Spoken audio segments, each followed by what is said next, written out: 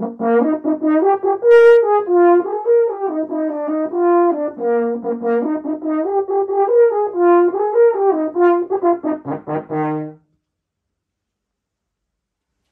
den, jmenuji se Zuzana Rozonková. Jsem celohorniskou Pražského symfonického orchestru FOK.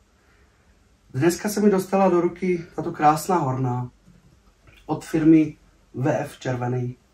A je to model CHR 781D.